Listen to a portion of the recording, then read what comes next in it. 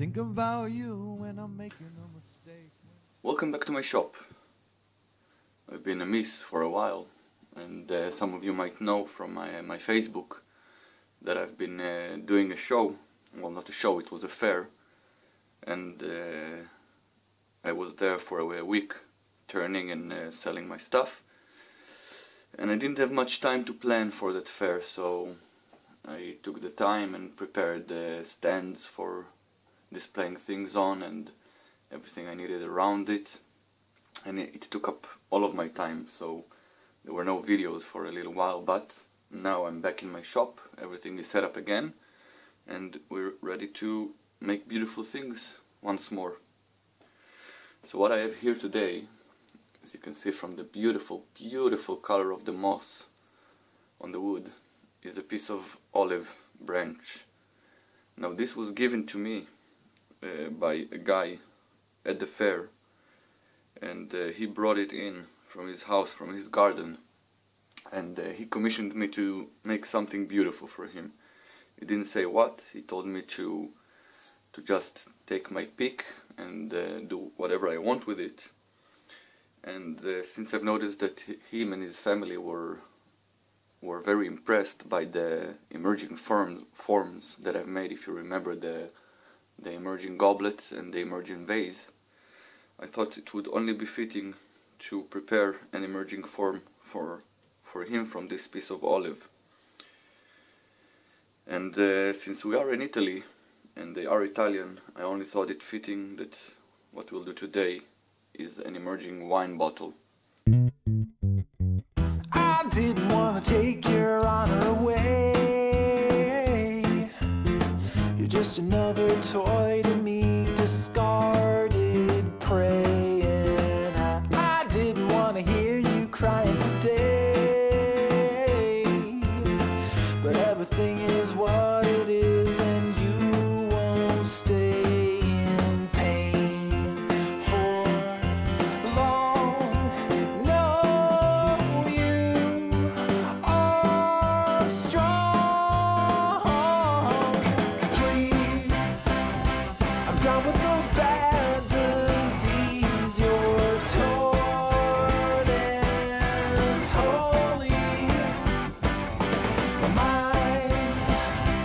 Swimming in turpentine.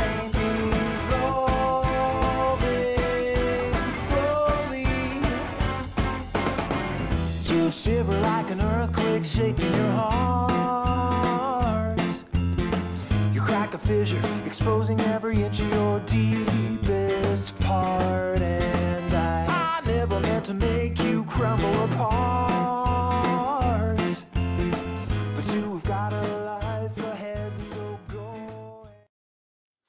Okay, so the piece is now cut and straight on both ends. As you can see, some of the spalting and coloration here, and of course also here in the crotch side. Now I'm going to reverse mount it in the same way, so I will be able to create the mortise here at the bottom. So I will, I will be able to chuck this into my jaws. Start to cauterize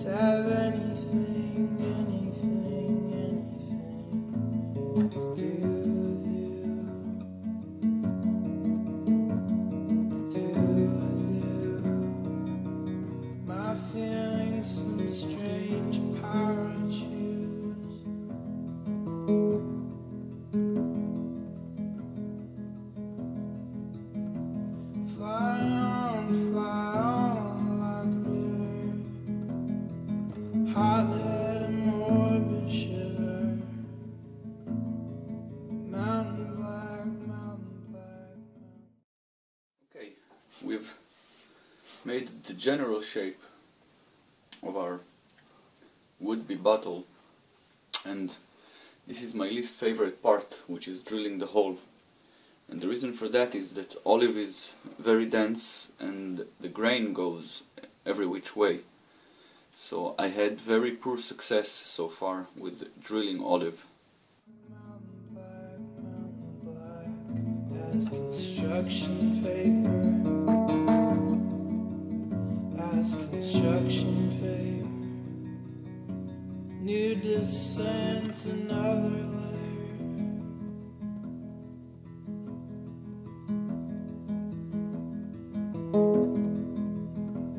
Miles down, bumps of devil's tongue. Good Lord,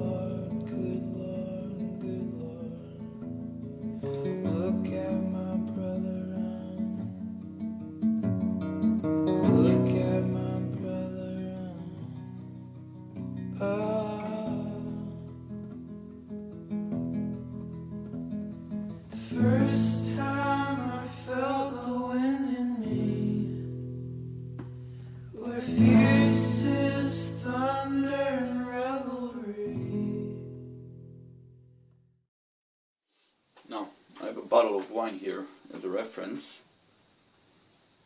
which I'm not going to drink because it's not wise to drink and turn, and also I don't like wine. So, that's that. I'm just going to use it as a reference for the shape of the bottle.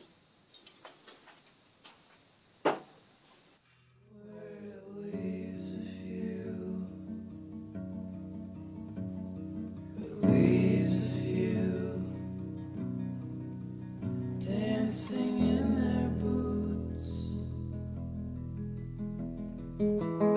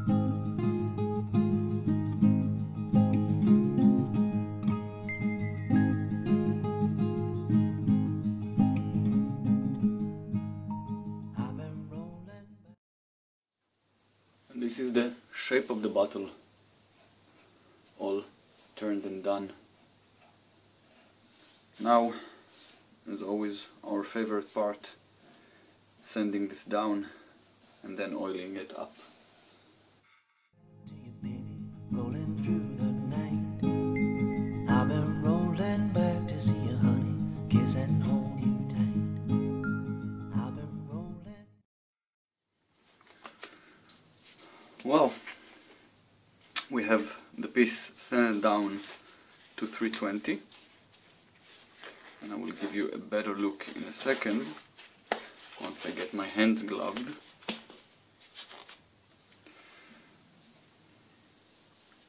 It's very very nice grain patterns going here. There's some bark left over here.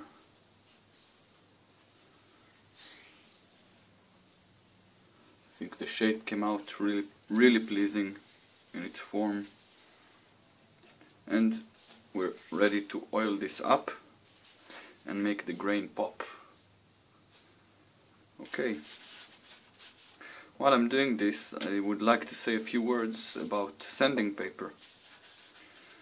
Now one of the first thing I've uh, learned I think it was uh, Carl Jacobson that I've heard first say that but what he said is that you should use sandpaper like it doesn't cost anything, like you're not paying for it. Don't be stringy, use as much as you need to get the results that you're looking for. And after a few years of turning, I've noticed that there's sandpaper and there's sandpaper.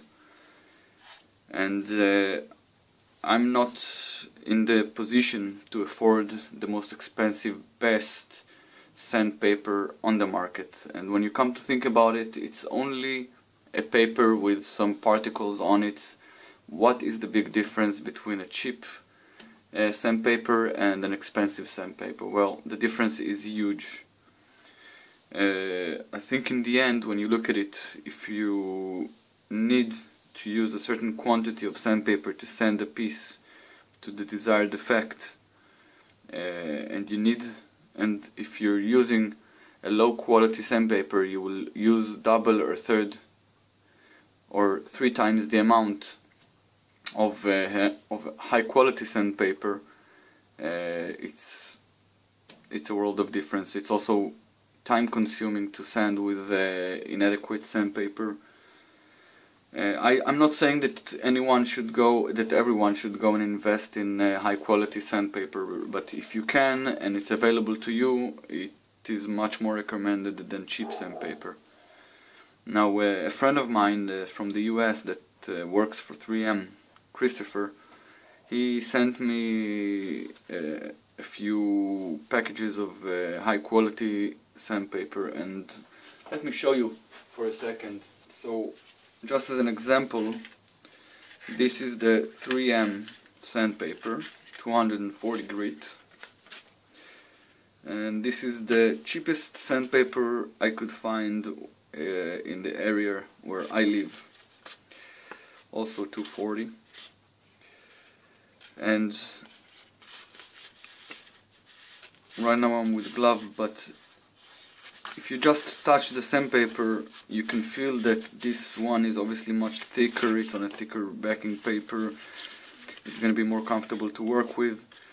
But when you actually sand with those two you can see the difference. You can see the amount of material that is being uh, sanded away from uh, the wood while using this cheap sandpaper. And again I'm not saying don't buy cheap sandpaper. If if you can't afford anything better you do it. And truthfully, I can't afford anything better. I do buy the cheapest sandpaper I can, which means I use a, I use a lot more than I should, and it takes more to more time to sand than uh, normally. But I simply cannot afford the higher quality sandpaper. I've done some cal calculations, and it does come a little bit cheaper with these, even though I spend more time doing so. So it's just an it, it's just an economic decision at the moment but but this paper when run over the wood when it's spinning the amount of material that comes off it and the the finish that it gives to the wood it's completely different. It's really completely different. And uh, first of all I want to I want I want to thank Christopher for sending me this high quality sandpaper and like I discussed with him, none of us are uh, sandpaper uh, scientists, so I don't know in the end what is the real difference in the process of making. Maybe the particles are stronger from a different material, maybe the the glue used for gluing the particles to the paper is different and it's stronger and it's better. We don't know exactly what is the difference, we just know that in the field when you're sanding the high quality sandpaper does a much better job than the low quality sandpaper. Again, that said, if you can only afford the cheap stuff, it will do the work, only it will take uh, longer to achieve the same result.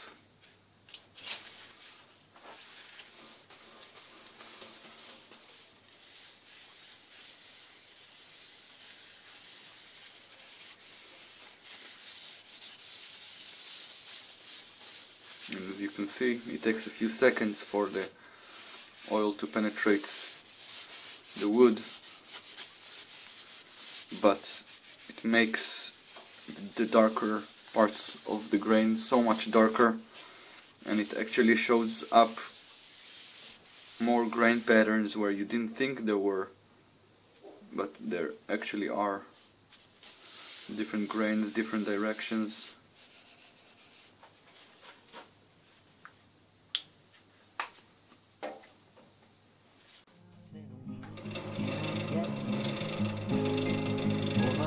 Bridges under the mountain, rolling through.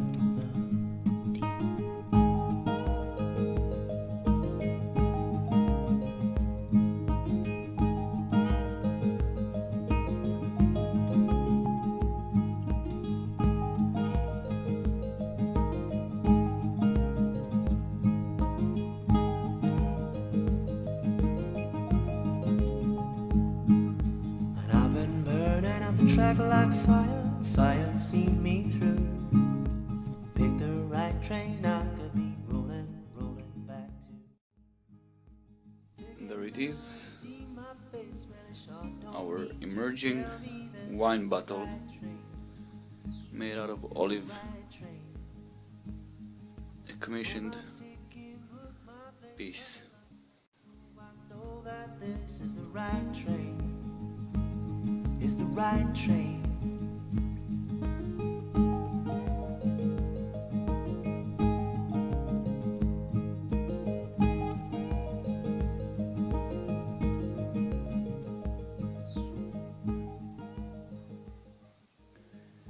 Hope you enjoyed this week's video and I hope to see you back in my shop really soon.